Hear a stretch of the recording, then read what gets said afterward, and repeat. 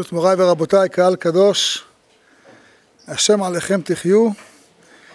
אה, השיעור הזה מוקדש לרפואת יהודה דוב בן יוכבת ואבינועם בן שלום בן אסתר. שיהיה רפואה שלמה ובריאות איתנה. אה, אנחנו בפרשת השבוע נקרא הרבה על ברכות. הברכה של יצחק מברך את יעקב, מברך את עם ישראל, הוא מברך אותו ואומר לו, ויתן לך אלוהים מטל השמיים ומשמני הארץ ורוב דגן ותירוש, יעבדוך עמים וישתחוו לך לאומים. הווה גביר לאחיך וישתחוו לך בני אמך, עורריך ארור ומברכיך ברוך. יש פה ברכה גדולה, אבל האמת, מי שמתבונן ושם לב, כל הפרשה הזאת היא פרשה של ברכה. יצחק זה ברכה. אמנם כשהוא מתחיל, אנחנו לא רואים את הברכה, אבל אה, כל, הברכה, כל הפרשה היא פרשה של ברכות. כך כתוב, ויזרע יצחק בארץ ההיא, וימצא בשנה ההיא מאה שערים ויברכהו השם, ולא מסתיים רק בזה, ממשיך, ממשיך הפסוק ואומר, ויגדל האיש וילך הלוך וגדל עד כי גדל מאוד. זאת אומרת, אחרי שהוא, אחרי שכבר אמרנו שהאדמה נותנת לו מאה שערים, פי מאה ממה ששיערו, פי מאה ממה שזרה, יש לו ברכה. דהיינו, וילך, ויגדל האיש, וילך הלוך וגדול, וגדל עד כי גדל מאוד. מה, מה, במה הייתה הברכה? אותם דברים שצמחו לו ליצחק, זה לא היה הטעם שלהם כמו טעם של דברים אחרים. היה בזה טעם אחר, טעם טוב, טעם משובח. וגם אם, אם מישהו היה מסתחר בפירות של יצחק, היה, היה לו רווחים. מי שהיה מסתחר בפירות אחרים, פחות רווחים. היה ברכה בפירות שלו. אמר רבי חנין, עד שהיו אומרים זבל פרדותיו של יצחק ולא בכספוס וזהבו של אבימלך. כל כך האנשים היו רוצים להתעסק איכשהו עם יצחק באיזושהי דרך, ידעו אם אתה מתעסק איתו אתה מרוויח. למה? יש פה ברכה, מי שנוגע בו יש בו ברכה. עכשיו הברכה לא הייתה רק בפירות, כתוב גם חפירת בארות המים הייתה ברכה. כל פעם שהוא חופר בארות מים, וימצאו שם באר מים חיים. הולך, חופר, עוד פעם באר מים. כל פעם שהוא חופר בארות, באר מים חיים. אבל הפלישתים אינם צרה, הם רואים שדה פורח, הולכים לשרוף אותו, אנחנו מכירים אותם, נכון? וכל הבארות אשר חפרו עבדי אביו וימי אברהם אביו, סתמום פלישתים וימלאו עפר. מה זה סתמום פלישתים וימלאו עפר? תכתוב סתמום פלישתים, תכתוב מלאו עפר. מה זה סתמום פלישתים וימלאו עפר? קודם כל סתמו אותם באבנים. אחר כך מילאו אותם בעפר. למה? כדי שיהיה קשה לפתוח אותם. מין רעות כזאת, כתוב על אה, בני חטא, כל מעשיהם לכעס ולעיצבון. גם פה, מישהו פותח באר מים, תגיד תודה רבה, תהנה גם אתה מהמים. מה, מה, מה, מה רע לך? לא. לחסום את החיים, לחסום את השפע. אצל יצחק זה לפתוח את השפע, אצלהם הם סותמים את השפע. אחר כך הם מגרשים אותו. אומרים לו, לך מעמנו כי עצמת ממנו מאוד. הוא הולך בגרר, גם שם הוא חופר באר, גם שם יש לו ברכה. אומר לו הקדוש ברוך הוא, עזב אותם. אלה, כל מעשיהם לכעס ועצבון. גור בארץ הזאת ואהיה עמך ואברכך, אני אהיה איתך. הברכה תהיה איתך. והתברכו בזרעך כל גויי הארץ. מי שיתעסק איתך ירוויח. ובאמת הם כל כך, אה, רודפ... הפלישתים, כתוב שהם עזבו אותו. אה, אומר התרגום, ראיתי הרב עליו ושלום היה מביא את זה, כתוב ש... כשבא אבימלך ליצחק ואומר לו ראו ראינו כי היה השם עמך אומר התרגום ואמרו מחמא חמינא ארום אבה ממרד השם בסעדך. דבזכותך אבת לנה כל תבה בזכותך היו לנו כל הברכות. וכדו נפקת מן ארען כשיצאת מארץ אה, פלישתים יבשו בירן ואילנה לא עבדו פירין התייבשו הבארות והאילנות לא נתנו יותר פירות אז הבינו הפלישתים בדרך הקשה שכל הברכות שהיו בארץ פלישתים היו בזכות יצחק אבינו עליו השלום. אה, וכמו שכולנו מכירים, מה שכתוב פה, מעשה אבות סימן לבנים. סיפר לי חבר שהקים את ערוץ 20, שהם פעם שלחו איזה כתב ערבי, סולימאן א-שפי, שלחו אותו לעזה, לראות מה קורה בחממות. הוא אומר, כמו שכתוב פה בתרגום, יבשו בירן ואילנה לא עבדו פירין. התייבשו הבורות והאילנות לא עשו פירות.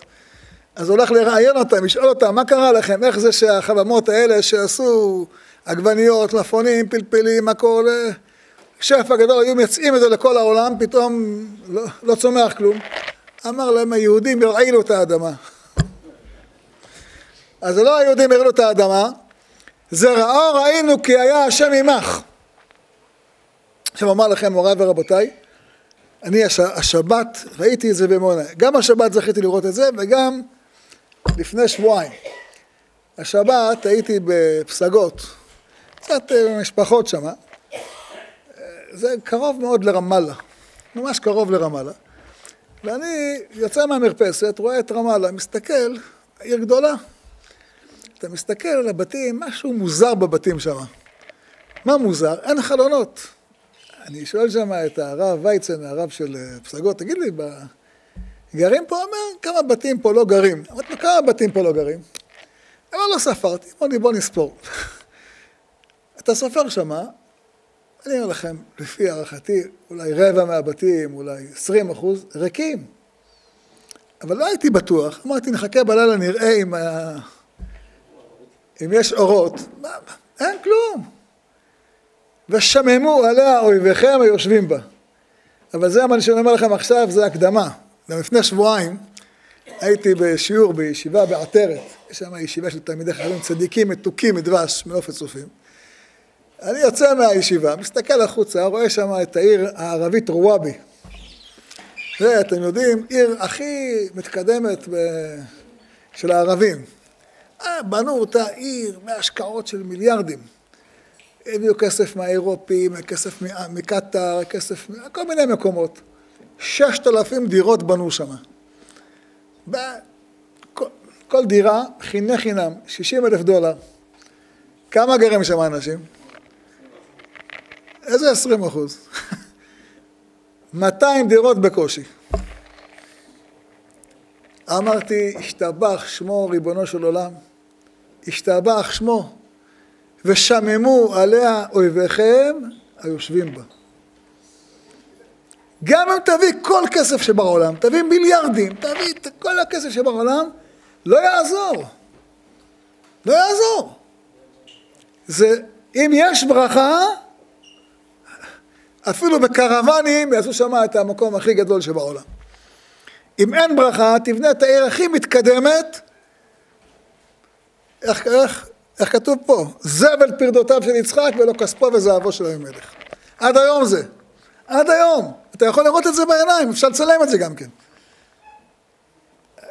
הלכתי לראות, אמרתי, מה, הם משוגעים? אבל מה לעשות, שהקדוש ברוך הוא רוצה, לא יעזור כלום. ממש, הקדוש ברוך הוא המם מהומה גדולה. ובעזר השם, יתקיים בהם גם המשך הפסוק. אה, מידת יצחק כתוב בזוהר, ואנחנו גם אומרים את זה באושפזין, מידת יצחק זה מידת הגבורה. מה זה מידת הגבורה? אנחנו לפעמים חושבים שגבורה פירושה אה, שהקדוש ברוך הוא מכה את אויביו. אז גבורה, שהקדוש ברוך הוא הטביע את המצרים בים סוף, זה גבורה. אבל אם אנחנו שמים לב לברכת אה, אה, ברכת, ברכת חיי המתים, היא מתחילה בגבורה ומסתיימת בגבורה. אתה גיבור לעולם השם. במה מתבטאת הגבורה? מחיי מתים אתה רב להושיע. וגם בספר אנחנו אומרים, מי כמוך בעל גבורות ומי דומה לך. הגבורה של הקדוש ברוך הוא זה דווקא להחיות. למה? כי כוחו של הקדוש ברוך הוא עצום. כשהוא נותן את החיות בצורה מצומצמת, אז זה נקרא גבורה. אה, וכך כתוב באמת, אה, הזוהר כותב, שהקדוש ברוך הוא אמר לאברהם אבינו, כה יהיה זרעך, הכוונה ליצחק, נכון? הוא אומר לו, מה זה כה יהיה זרעך? שיצחק יהיה לו מידת הגבורה, דמיתמן אתיין איבין ופרא לעלמא. ממידת הגבורה מגיעות, מגיעים הפירות והצמחים לעולם. כך כתוב בגמרא בסנהדרין, שכתוב על המלאך גבריאל שהוא ממונה על הצמחת הפירות. רבי שמעון בר יוחאי אומר אותו הפרק, זמן בישול פירות היה, אמר לו הקדוש ברוך הוא לגבריאל, כשאתה יוצא לבשל את הפירות, יזקק להם. זאת אומרת, מי שאחראי על הצמיחה, אחר גם כתוב לגשמים, שברוך השם שלנו גשם עכשיו. הגמרא אומרת זה נקרא גבורות גשמים, כן? כי זה כשהברכה באה מהקדוש ברוך הוא היא נקראת גבורה. אנחנו בעזרת השם יתברך נלמד היום את ברכת הריח. למה? אה, כתוב שכשיעקב נכנס אה, אל יצחק לקבל ברכה, כתוב שהיה עטוף בבגדי עיזים, נכון? הגמרא אומרת, אין לך ריח רע יותר אה, משטף של עיזים.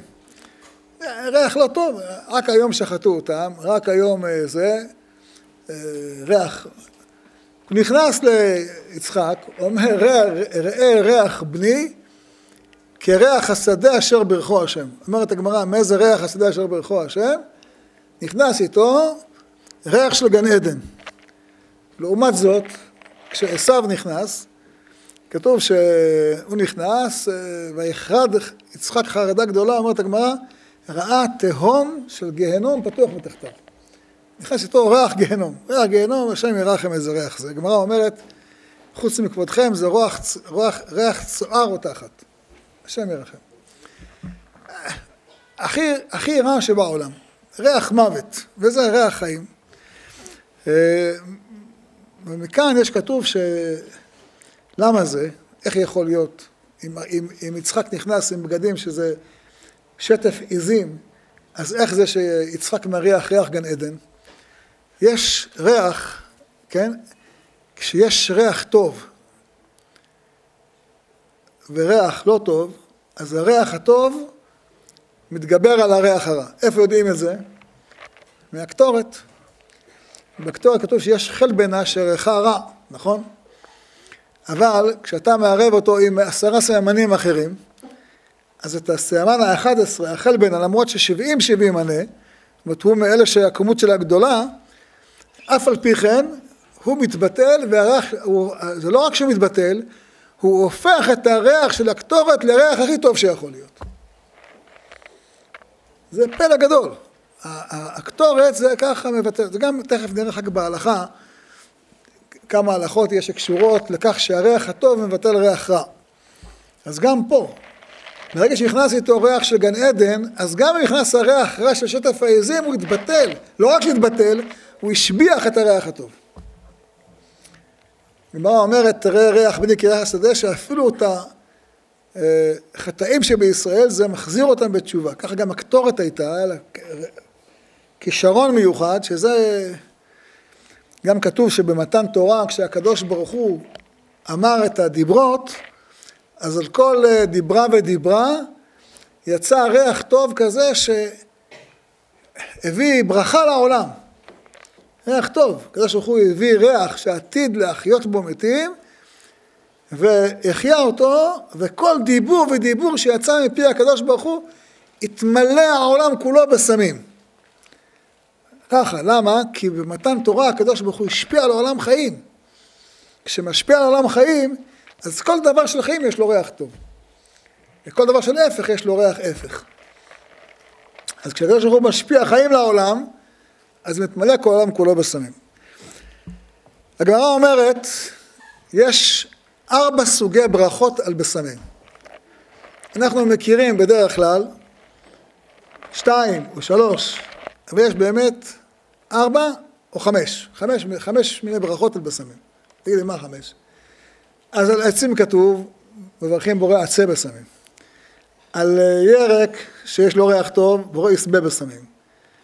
על אה, בושם שעשוי מבעלי חיים, או מספק, מברכים בורא מיני בשמים. על פירות מברכים, הנותן ריח טוב לפירות, והגמרא אומרת על שמן ערב מברכים בורא שמן ערב. ויש אה, כאלה שמברכים, הגמרא אומרת, דעת רב יהודה, כתוב שהיה מברך בורא ריח ארצנו. למה ריח ארצנו? מכיוון שהריח של הפירות של, אה, של האפרסמון שהיו גדלים מיד יריחו היה כל כך מיוחד, לא היה כמותו בכל העולם. הברכה הייתה כל כך טובה, עד שלא היה ריח כזה בכל העולם. לא היה ריח כזה. לכן אומר רב יהודה מברכים על זה בורא ריח ארצנו. ורש"י מסביר, אומר למה קוראים ליריחו בשם יריחו?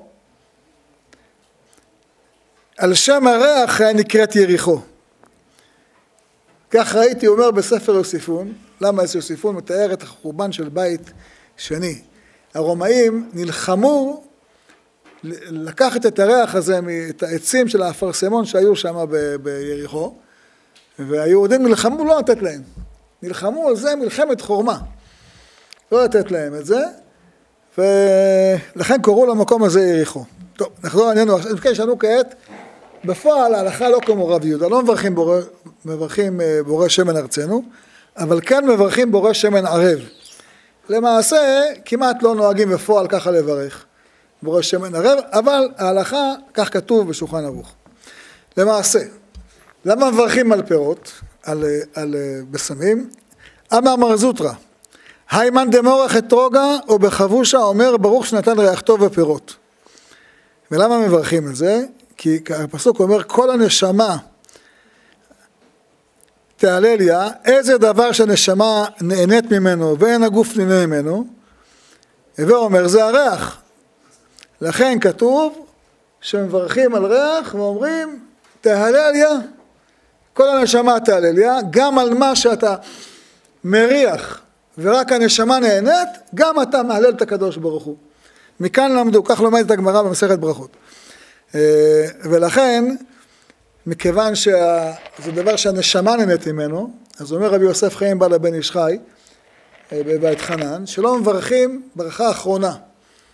על אה, ריח, למרות שעל לחם אתה מברך ועל פירות, זאת אתה לא מברך. למה? כי ברגע שסיימת להריח זה כבר פג. כי זה דבר של הנשמה. וכן, לא מברכים על זה שהחיינו. כי זה לא, אין לו ממשות כזה כמו, כמו כל אה, פרי, ולכן אתה לא מברך עליו, לא שהחיינו ולא ברכה אחרונה.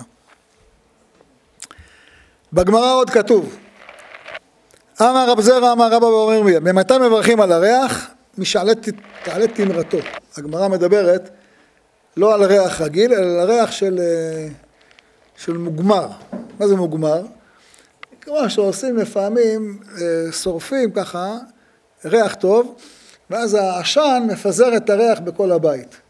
אז הכלל הוא שאם אדם לוקח עץ ושורף אותו, ויוצא ריח טוב, מברכים בורא עצי בשמים. אם הוא שורף עשב, מברכים בורא יסבה בסמים. כמו שאתה מריח, כך שאתה, כן, אותו דבר כשאתה שורף. אם אדם שורף, נגיד אה, מוסק, מוסק זה עשוי מבעלי חיים, ואתה מריח אותו ויש ריח טוב, אתה מברך בורא מיני בסמים. אתה לא יודע ממה זה עשוי, אתה מברך בורא מיני בסמים. למרות שזה לכאורה ריח שאין לו עיקר, אבל זה יש לו עיקר. הנה, שרפת את הגחלים, יש לזה עיקר.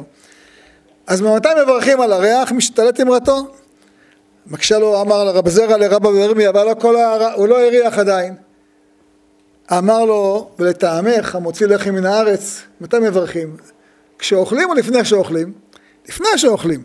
למה? כי הוא רוצה לאכול, גם על ריח. אתה מברך לפני שאתה מריח. אבל זה מתי? כשאתה ברור, בטוח שאתה לא מצונן ושיש לזה ריח טוב. לפעמים אדם לא בטוח.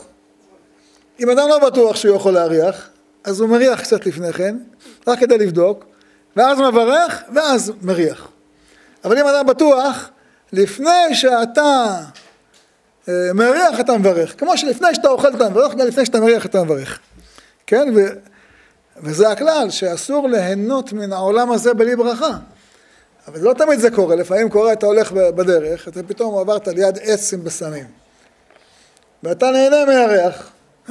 טוב, הנאה שבאה לאדם בעל כורחו.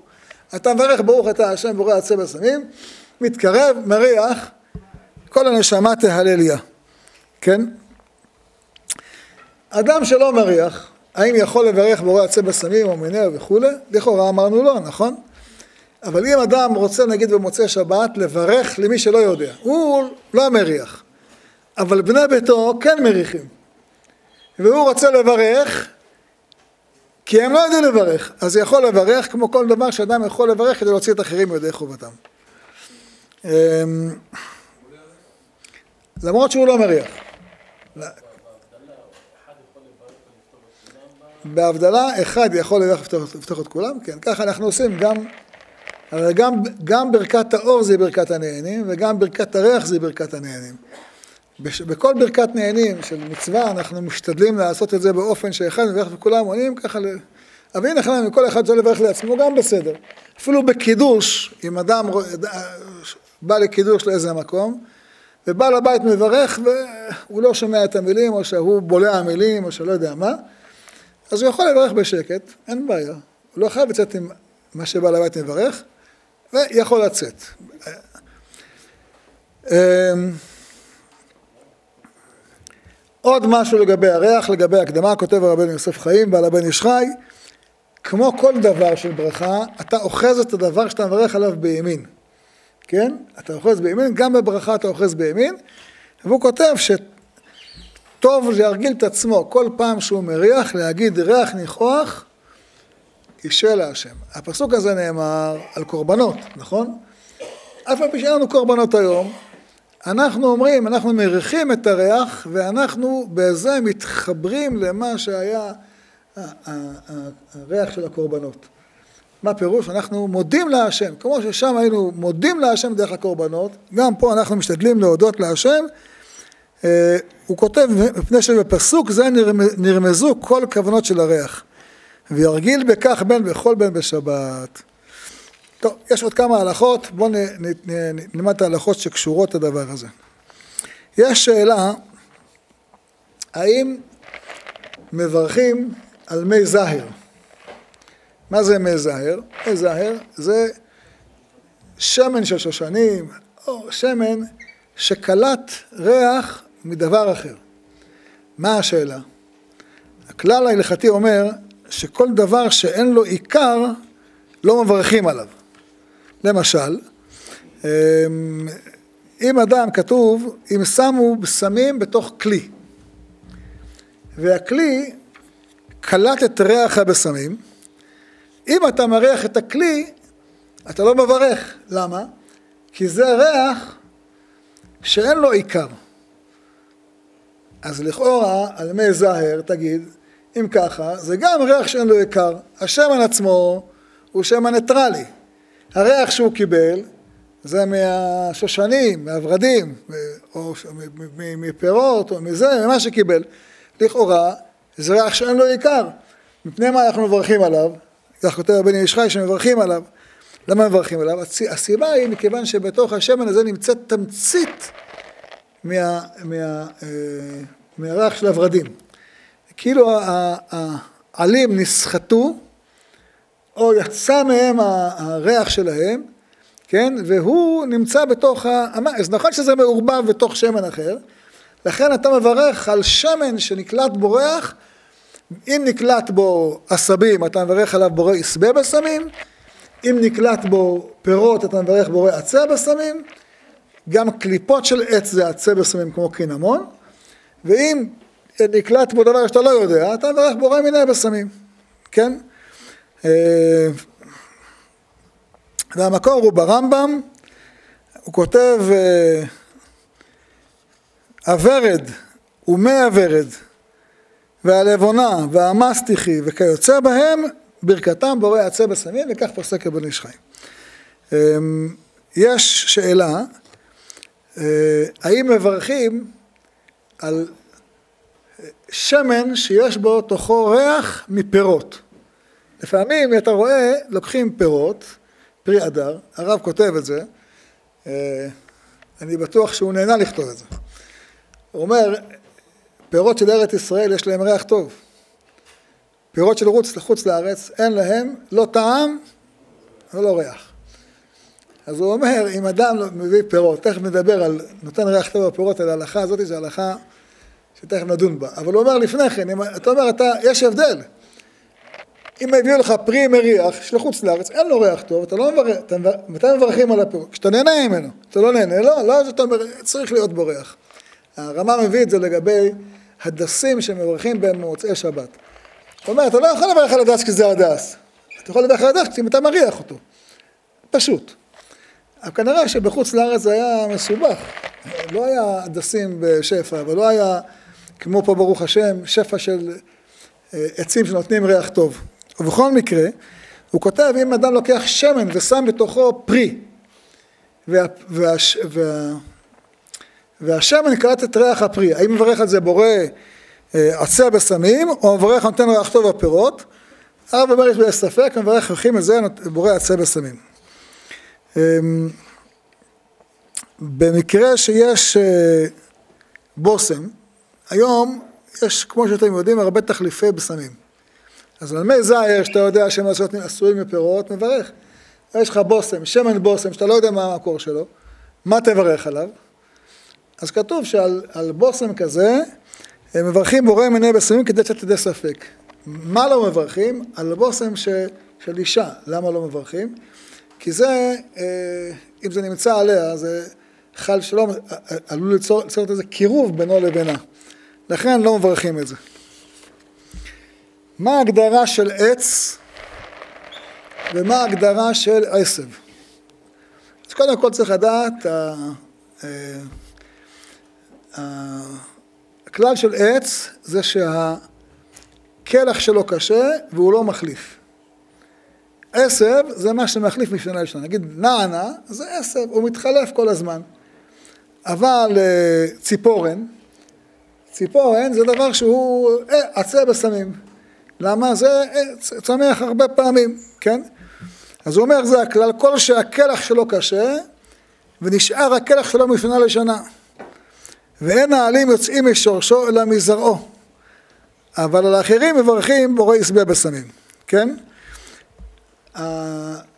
מה שבדרך כלל אנשים נוהגים לומר, הרב מביא את זה, והמשנה ברורה מביא את זה בסימן רש צדיק ז', שאשכנזים נוהגים לברך על הכל בורא מיני בשמים. אבל צריך להזכיר, המשנה ברורה אומר רק במוצאי שבת מברכים אשכנזים בורא מיני בשמים ולא ביום רגיל. ביום רגיל מברכים על כל מין כמינו.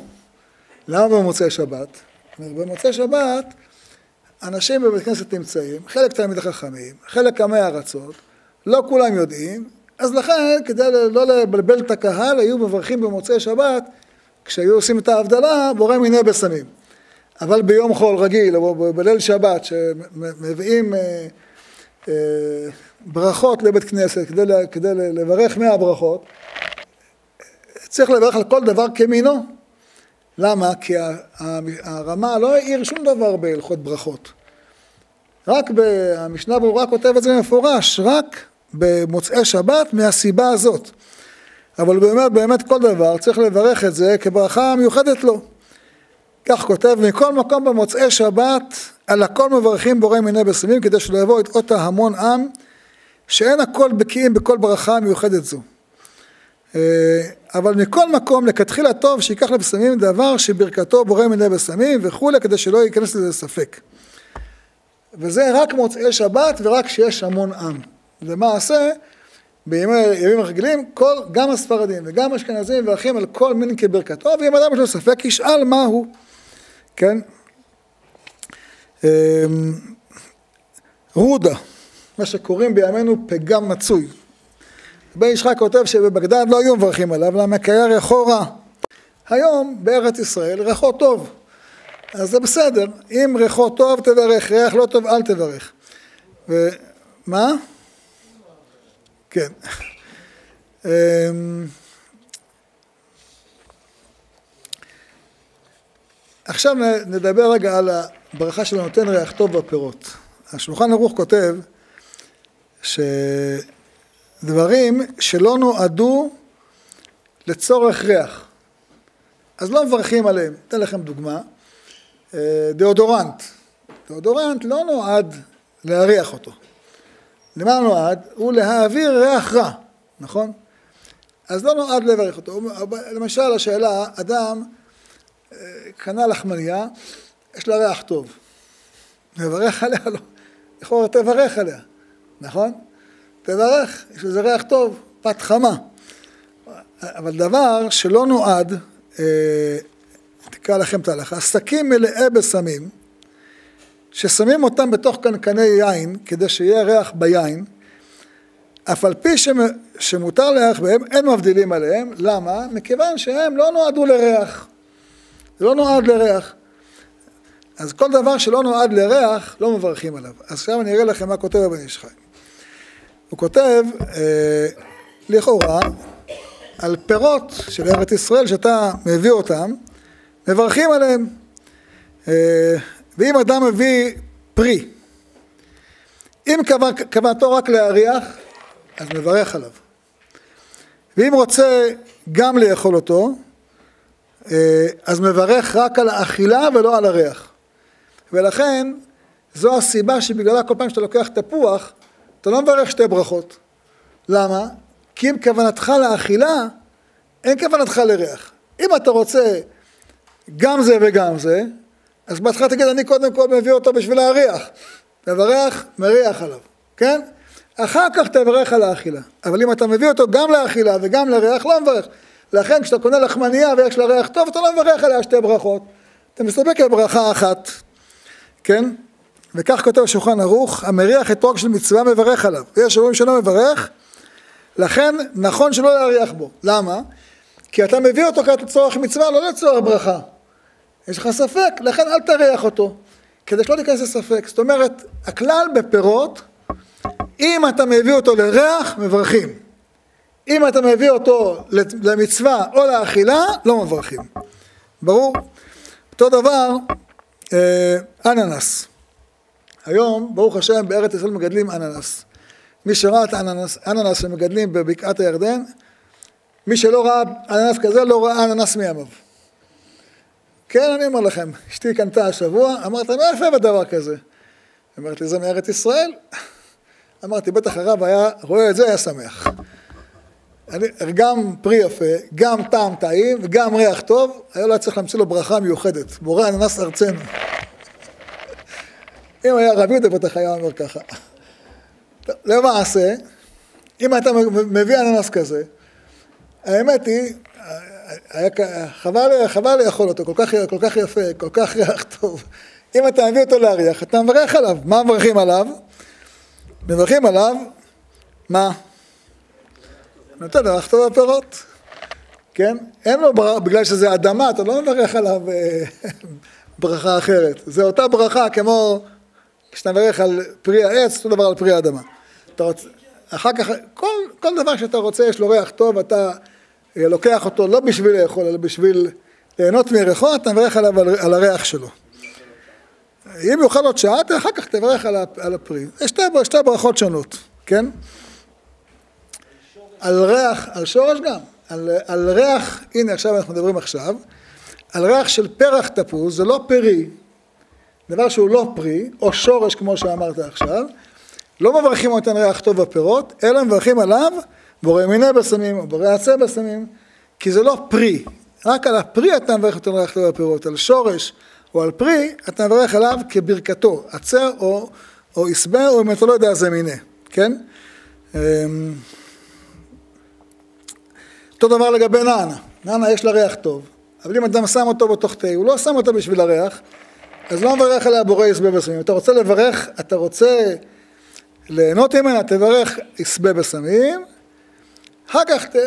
עוד שעה כמו שאמרת, מתי שתרצה תברך עליה אה, את הברכה שלה.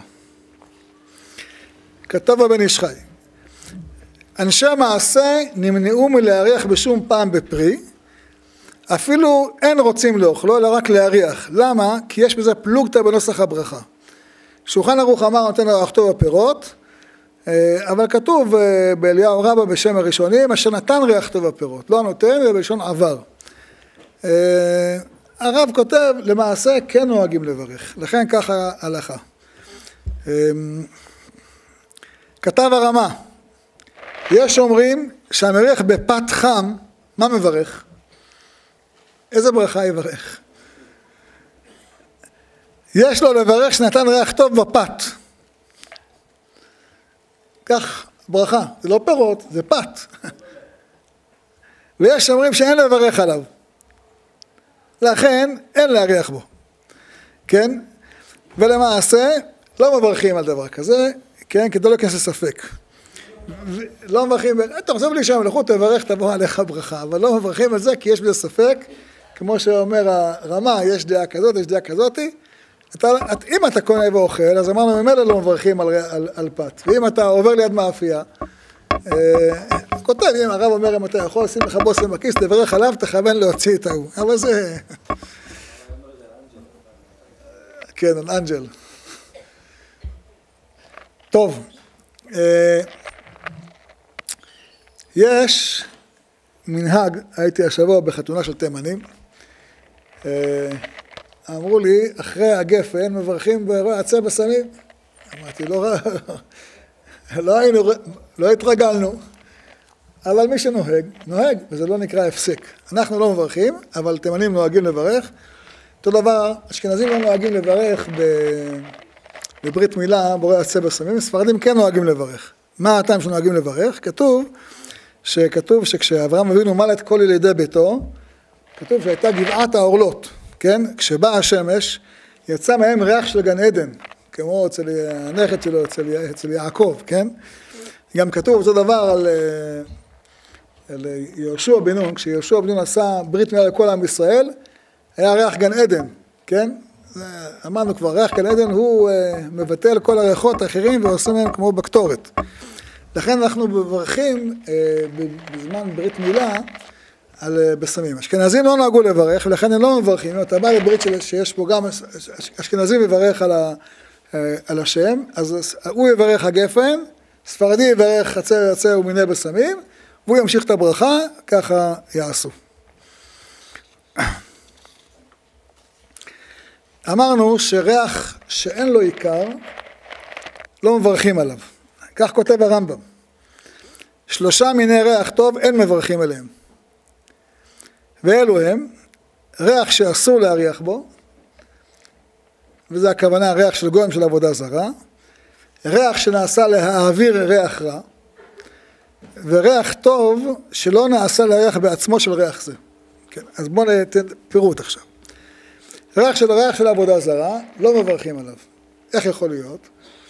אה, אנחנו לפעמים יודעים שההודים עושים קטורת, אה, הקטורת הזאת, למה היא? היא לעבודה זרה. אז הרבה פעמים שואלים אותי אנשים, קונים אה, מקלונים כאלה של, של קטורת שמגיע מחוץ לארץ. אה, האם מותר להשתמש בזה או אסור להשתמש בזה? זו גם שאלה ששואלים אותה על כל מיני אה, מנורות שעושים. אולי עשו את זה לעבודה זרה, אולי עשו את זה לחג המולד, אולי עשו את זה להודים שלהם. אה, וכן על זה הדרך כל מיני קישוטים וכל מיני דברים כאלה, האם מותר קודם כל בכלל להשתמש, אולי בכלל אסור להשתמש בזה. אז הכלל הוא שמה שהם עושים, מה שהיום מייצרים, כל אחד מייצרים, מייצר כל אחד לפי מה שישתמש. אין בזה, הם לא מייצרים את זה דווקא לעבודה זרה, אין בזה איסור להשתמש בזה. אבל אה, אם באמת אדם מריח ריח של עבודה זרה, אסור לברך עליו. אה, והרב עליו השלום סיפר שהוא זוכר שהיה בעיר העתיקה, אומר, הנוצרים היו עושים את כל ההלוויות שלהם ביום ראשון. למה יום ראשון? יום שלהם, כן? אז הוא אומר, אבל מכיוון שהיו שומרים את הנפטרים אה, מאמצע השבוע, לא תמיד היו מקררים, אז הריח לא היה משהו. אז מה היו עושים? היו שמים עליהם פרחים, כן? מאיפה המנהג שאתם רואים היום ששמים אה, פרחים על, על, על, על קברים? זה בא מהם. שהיו רוצים לעשות ריח כדי שלא יריחו את ריח הנפטרים. ריח כזה זה ריח שנועד להעביר ריח רע. כל ריח שנועד להעביר ריח רע, אנחנו לא, לא מברכים עליו. אז זה ריח של עבודה זרה זה אחד, ריח שנועדה להעביר ריח רע. אותו דבר, בסמים שיש ב, לא עליכם, אה, כאילו, שעושים אותם גם כן במקומות כאלה שיש ריח רע. אז זה לא, לא, אה, לא מברכים עליהם, או של שירותים, כן? גם כאן לא מברכים עליו, או להעביר זיעה, גם לא מברכים עליו, כי הריחות האלה נעשו להעביר ריח רע. אפטר שב זה נועד לריח טוב, לא נועד לריח רע. זה בושם לגברים, מברכים, כן, זה נועד לריח טוב. אם זה נועד לריח טוב, כל דבר של ריח טוב נועד למברכים עליו. גם סינתטי. אמ, מוגמר שעושים אותו כדי לגמר את הכלים ואת הבגדים. מה זה לגמר את הכלים ואת הבגדים? כדי שיהיה ריח טוב לבגדים, כן? אה, אין מברכים עליו, לפי שלא נעשה להריח בעצמו של מוגמר ואין שם עיקר. לכן אה, יש היום אה, מרככי כביסה למיניהם, ששמים אותם כדי שיעשו ריח טוב בבגדים. עליהם לא מברכים, גם אם מריח את הבגד, הוא לא מברך עליו. למה? מכיוון שהחומר הזה לא, נוטה, לא נועד להערכה, אלא שלבגד יהיה ריח טוב, לא שאתה תריח את הריח הטוב, שלבגד יהיה ריח טוב, לכן לא מברכים על הדבר הזה. אה,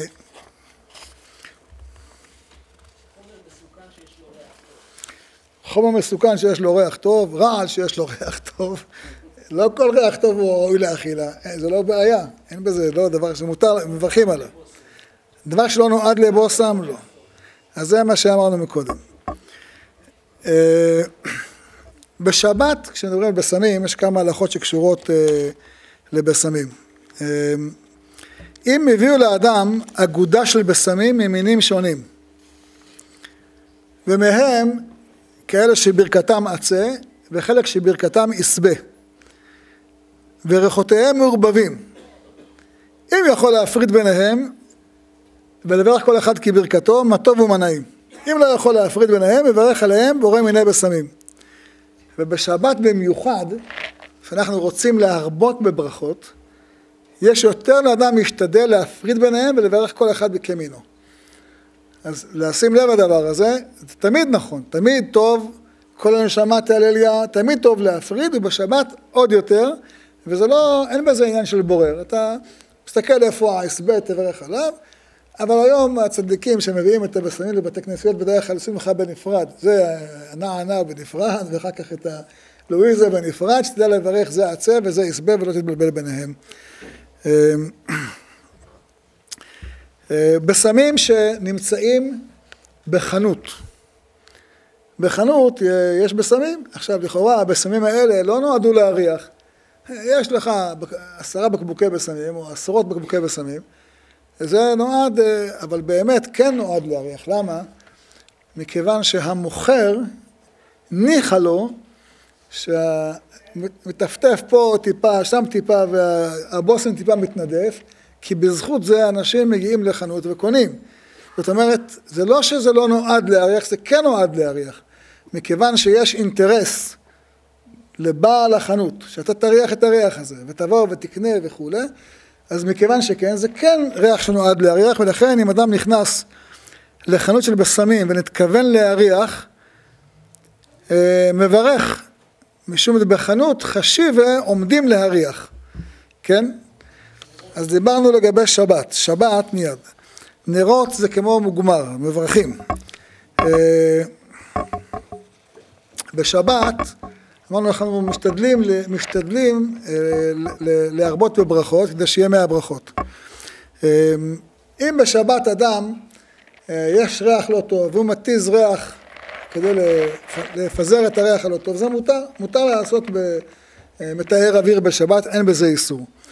ומותר לאישה לשים בושם על ידיה בשבת, אבל לא על הבגד. למה? כי זה נקרא מוליד ריח, כן?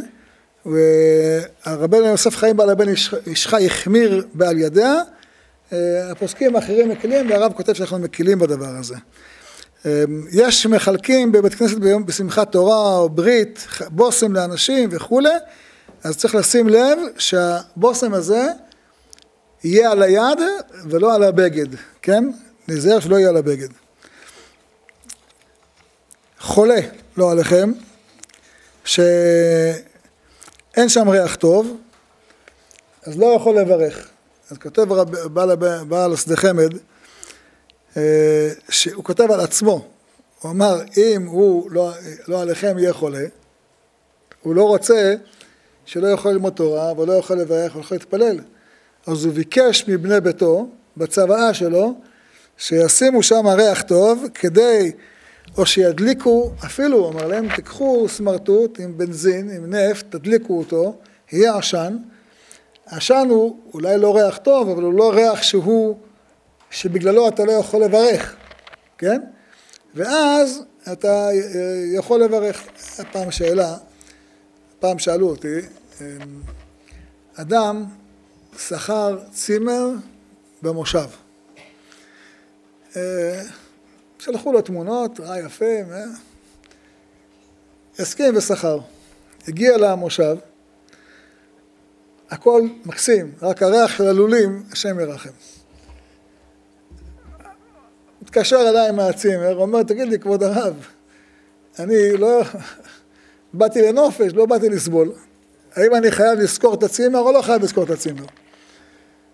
אמרתי לו, ודאי שלא, לא באת, זה לך טעות. אומר לי בעל הבית, כבוד הרב, אנחנו חיים פה בתוך הריח הזה, לא קורה לנו כלום. אמרתי לו, אתה רגיל, בסדר. אבל אחר כך שאלתי את עצמי, מה יהיה הדין, האם מותר לאנשים שם במושב לברך עם ריח כזה של אה, לולים? הוא יכול להגיד לך, בן אדם, זה בשבילי זה ריח גן עדן. כל אחד לפי... אני לא בטוח, אני באמת לא יודע, זה הרב, הרבנים של המושבים צריכים לפסוק להם. אבל זה באמת לא שאלה פשוטה, כיוון שהריח הזה הוא ריח מאוד אה, לא נעים. אה, וסיפר לי פעם מישהו שבנו כעת מושב חדש באיזה מקום, אומר, מלכתחילה כשבאים את המושב, בנינו את כל הלולים בצד כזה שלא, שלא, שלא תבוא הרוח של הריח של הלולים אלינו לבית. זאת אומרת, זה מפריע, זה לא, זה לא מפריע, לא להתרגל לזה, אבל זה מפריע. וצריך לדעת שיש ריח כזה שמפריע, אדם צריך לשים ריח שמתאר אוויר. המתאר אוויר יכול להיות כמו שהשדה חמד אומר, תיקח משהו, תשרוף אותו, זה גם, תשים שם איזה משהו שיוצא ריח, גם, לא משנה מה, תשים מתאר אוויר, הכל בסדר. ברגע שיש לך ריח טוב שמבטל את הריח הרע, זה בסדר גמור. למה? כי אתה לא רואה מול עיניך את הריח הרע. אתה לא רואה את הלול, הלול נמצא בחוץ, אתה רק מריח את ריחו. אם אתה שם את ער האוויר, אתה יצאת ידי חובה והכל בסדר. לכן צריך לשים לב לדבר הזה, כן? ואם אה, לא עליכם הוא רואה את זה מול עיניו, אז צריך לכסות את הריח הרע ולא, אי אפשר בצורה כזאת. אמ,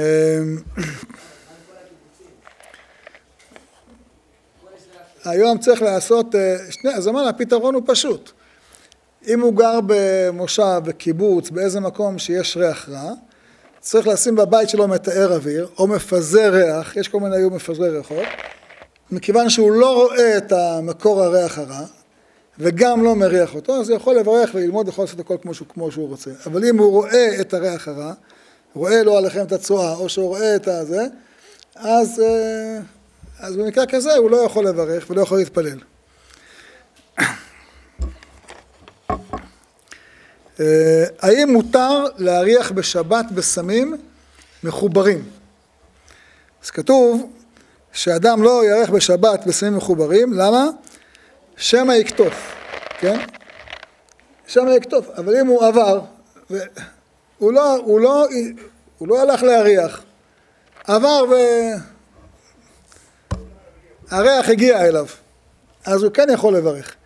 מה שאסור זה להתקרב אל, ה, אל העץ ולהריח בו, כי אז הוא יכול למשוך את הענף אליו ולקטוף ולעשות איזשהו דבר של איסור. אבל אם הוא עבר והריח הגיע אליו, אין בזה בעיה, מכיוון שזה, אה, אין בזה חשש שמקטוף. כל החשש הוא כאשר הוא אה, הולך ומתקרב אל העץ בעצמו, בזה יש אה, חשש. וכתוב באמת, רב חייא ברד רב אביה, בשבתא וביום מטווה, טרח וממלא להו אה, בכל מיני מגדים כדי שהוא יצא ידי חובה של מאה ברכות, כיוון שאנחנו בשבת חסר לנו מאה ברכות, לכן אנחנו משלימים אותם בריחות ובסמים ותבוא עליהם ברכה. הרמב"ם כותב, ברכות רבות תקנו חכמים, דרך שבח והודיה ודרך בקשה, כדי לזכור את הבורא תמיד וליראה ממנו. זה נכון לגבי כל ברכה, וזה נכון במיוחד לגבי הברכה הזאת של בורא עצה בסמים ובורא יסבה בסמים. כיוון שכמו שהזכרנו בתחילת השיעור, מה שכותב רבי יוסף חיים בעל הבן איש חי, שכשאדם מברך על ריח טוב, אז הוא מברך עליו, והוא אה, אומר ריח ניחוח אישה להשם. זאת אומרת, אתה צריך, כשאתה מריח, כדי לזכור ששורש הריח הטוב זה כמו שהיה בבית המקדש, היו עושים את הקטורת, והעיזים שביריחו היו מתעטשות מריח הקטורת. אז ראיתי פעם פירוש שאומר, למה דווקא מזכירים את העיזים שביריחו? יש הרבה פירושים. אומר יריחו, אמרנו מקודם למה קראו להם, אומר רש"י, למה קראו לה יריחו? בגלל הריח של האפרסמון שהיה גדל שם. זאת אומרת, אפרסמון שהוא היה ריח מיוחד שאין כמותו בכל העולם, גדל ביריחו. אז מי שרגיל בריח טוב, לא מתלהב מריח טוב. אבל זה כל הריחות הרגילים. אבל ריח הקטורת היה כזה, כזה חזק וכזה עוצמתי, שגם העיזים שהיו רגילים, רגילות כל הזמן להריח את ריח האפרסמון, שזה הריח הכי טוב, כשהיו מריחות את ריח הקטורת היו מתעטשות. והגמרא אומרת, על חכם אחד שאומר, עיזים היו לאבא בהר מכבר והיו מתעטשות מריח הקטורת. ואיפה זה הר מכבר? הר מכבר זה מעבר לירדן, מזרחה, איפה שהיום ירדן, שם, אפילו שם הריח היה מגיע, וגם שם העיזים היו מתעטשות מריח הקטורת. אה, בדוק הוא שאם תשפוך חבית, חבית, חבית של בושם, הכי יקר בעולם, שפוך אותו בירושלים, לא יעריכו אותו ביריחו. אין סיכוי. זה מרחק גדול, לא יעריכו אותו ביריחו. אבל הריח שהיה של הקטורת היה ריח כזה עוצמתי, לא בכמות שלו. כי כמה היו אה, קטורת עושים? מעט, לא הרבה. העוצמה זה העוצמה הרוחנית שלו. העוצמה הרוחנית של הקטורת הייתה שהיה גם עולה, מתעמר עד למרום, וגם היה מתפזר בשטח, היו מריחים אותו אפילו ביריחו, כל שכן בצפת ובתל אביב. עכשיו, למה אנחנו מברכים? כל דבר שאתה מברך אותו כדי להודות לקדוש ברוך הוא, וכדי לזכור את הבורא תמיד וליראה ממנו, ולכן אנחנו מברכים מבחינת כל הנשמה תהלליה. עוד כמה הלכות שנזכיר שקשורות לבשמים. במוצאי שבת אנחנו מברכים על הבשמים. למה מברכים על הבשמים? אז כתוב, מכיוון שבשבת יש לאדם נשמה יתרה, כן? אה, כתוב שבשבת ויהי נפש, יש לאדם נשמה יתרה. מה זה נשמה יתרה? יותר מאיר בתוכו אור השם שנמצא בתוכו. הנשמה נקראת נשמה, למה? מכיוון שכשהקדוש ברוך הוא ברא את אדם הראשון, כתוב שהוא הנשים אותו. כן? ויפח באפיו נשמת חיים, ויהי אה, האדם לנפש חיה. אז אותו נשמת חיים של הקדוש ברוך הוא שהנשים בה את האדם, היא מחיה אותו, ממילא מה שמחיה את האדם זה נשמת, חי... נשמת פיו של הקדוש ברוך הוא. וזה נמצא בתוכנו עד היום. וזה מה שנהנה מהריח הטוב. כי הריח הטוב, כמו שאמרנו, זה שורשו במעמד הר סיני. שורשו בקטורת, זה הריח הכי טוב שיש. יותר מכל אפרסמון, יותר טוב מכל בשמים, מכל... אה, זה השמן הכי טוב, זה שורש החיים. שורש החיים ושורש הריח הטוב. וזה מעמד הר סיני וזה בית המקדש והקטורת. זה הרי, שורש הריח הטוב. כשאתה מריח ריח כלשהו, אתה מתחבר לריח ניחוח של השם. לשורש הריחות הטובים בכל העולם כולו. למה? כך כותב רבי אה, חיים מוולוז'ין על הפסוק ויפח באפיו נשמת חיים ויהי האדם לנפש חיה. לא כתוב ויהי בא אדם לנפש חיה, אלא ויהי האדם לנפש חיה. ברגע שהאדם קיבל את נשמת חייו של הקדוש ברוך הוא, זה היה החיות של כל המציאות כולה. האדם עצמו הוא נפש החיה של כל העולמות. על, על שם הפירוש הזה קרא את שמו, שם הספר נפש החיה. שהאדם הוא, הוא במציאות שלו מחיה את הכל. לכן אנחנו יודעים ששורש כל הריחות הטובים כולם הוא ממעמד הר סיני ומריח ניחוח ישל להשם. לכן אנחנו במוצאי שבת מריחים בסמים כדי אה, ל, ל, לפצות את, ה, את, ה, את הנשמה על, ה, על השבת שיצאה ממנה. מכיוון שזה הטעם, לכן אם אדם אין לו בסמים במוצאי שבת, יוצא ידי חובה. הוא לא אומר אלה בסמים לא יעשה הבדלה. אומר שולחן ערוך, מברך על בסמים אם יש לו, ואם אין לו, אין צריך לחזור אחריהם. זאת אומרת, תשתדל שיהיה לך בסמים, תקטוף מהחצר, תדאג שיהיה לך בבית, וכן על זה הדרך, אבל אם אין, לא, לא בגלל זה אתה מעכב את, ה, את ההבדלה.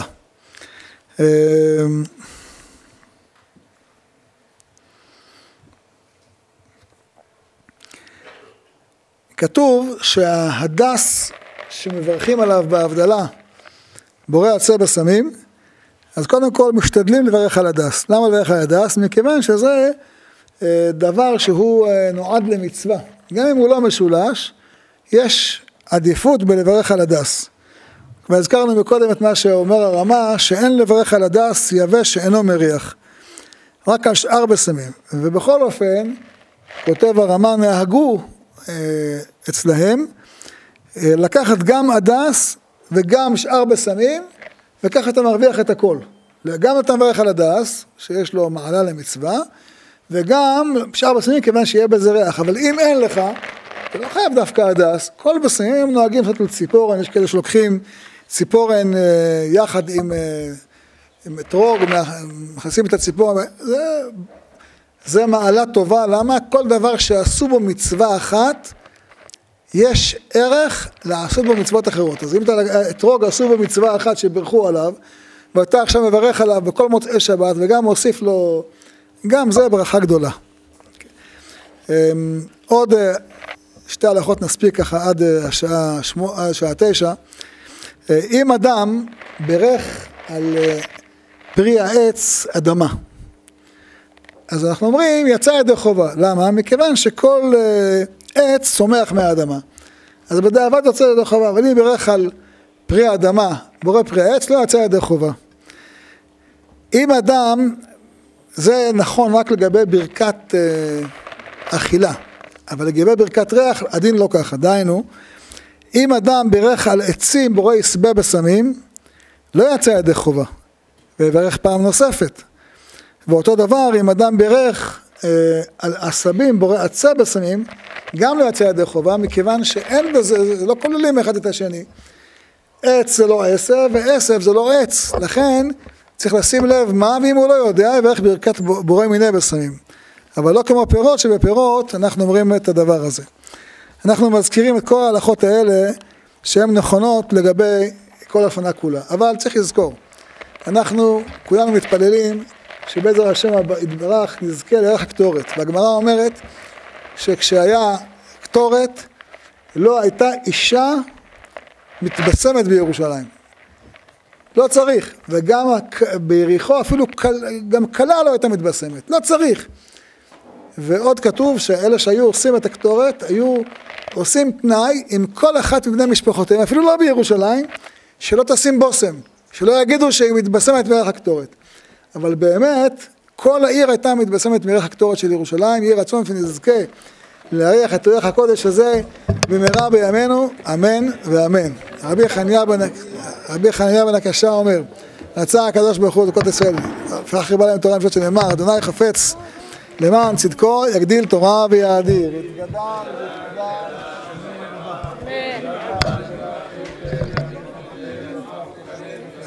אמן.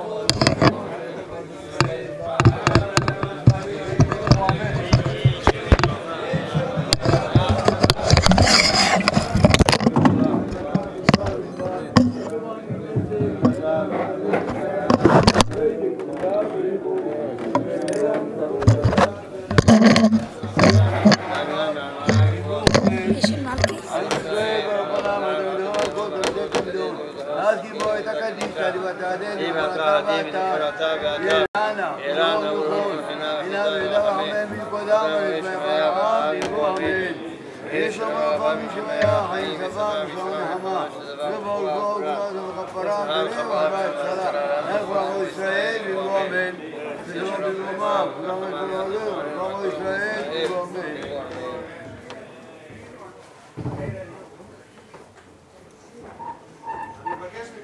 לא לנתק מיקרופונים בסוף ולא לגעת בשום דבר מהציוד, זה יכול לשבש את. חזקים וברוכים. אחיי ורעיי, שתי מצוות חשובות יש לנו, יש משפחה במצוקה ויש